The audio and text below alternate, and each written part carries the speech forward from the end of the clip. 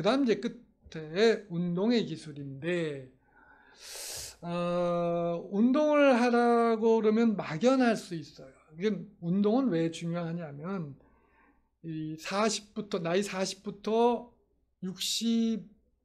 65세까지 가장 해야 될 가장 중요한 일이 운동이고 부모님의 건강이에요. 부모님이 건강하신 모습이 아이들에게 그대로 어, 영향을 줍니다. 저희 집 두 아이도 지금 이 상황에서도 한 아이는 뭐 조깅하고 헬스 가고 그럽니다. 그렇죠. 저희 부부가 그래. 제가 지금 저도 조깅을 하고 오후면은 이제 지금 테이밍을 했으니까 산책을. 그 학교에 있을 땐 저녁에 산에 갔어요. 꼭 산에 가서 운동하고 하루 피로를 풀고 이랬거든요.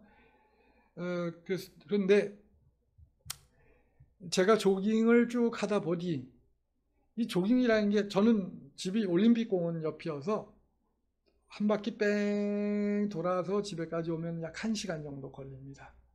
뭐 뛰, 막 뛰지 않아요. 무릎에 관절에 무리가 갈 수 있으니까 한 번은 올림픽 공원 옆에 체대가 있거든요. 체대 학생들 경보 선수가 있어요. 경보 걷는 거 뻣뻣하게 걷는 거. 근데 제가 얼마나 천천히 뛰냐 봤더니 경보 선수들이 저를 저를 추월해 버리더라고.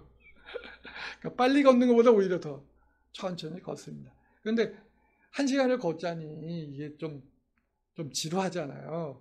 그래서 제가 이거 노래로 한번 만들어 본 거예요.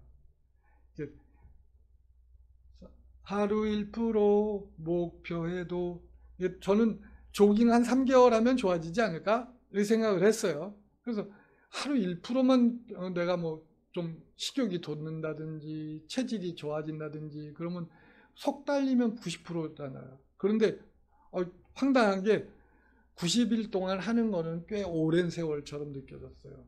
그런데 정작 석 달이 지났는데 아무런 변화가 안 생긴 거야.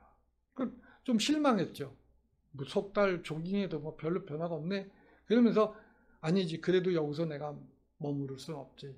그때 이제 내가 하루 0.1%씩 가령 체질 개선해 보시기에 뭐 제가 뭐 우람하고 이러질 않죠. 예, 저는 뭐 체중이 이렇게 늘질 않습니다. 그러니까 이렇게 자랑 아닌 거 아시죠? 그 살 안 쪄서 고민인 사람들 꽤 됩니다. 어머니 오해하지 마세요. 그래 저는 그래 그러면 0.1%를 잡아볼까? 0.1%를 잡아도 1년이면 36.5%고 3년이면 3, 3, 5, 3, 6, 7, 8 108.5 이렇게 되잖아요. 100%가 넘어가요. 이렇게 길게 보고자. 하고 120까지 우리 애들은 120까지 산다고 보셔야 돼요.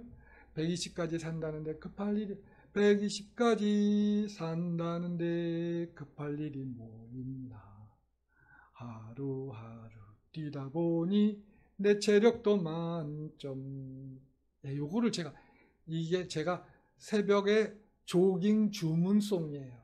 지루하잖아요. 그러니까 자꾸 세뇌를 시키는 거예요 저 자신에게. 이걸 노래 뛰면서 계속 불러요. 하루 일 속으로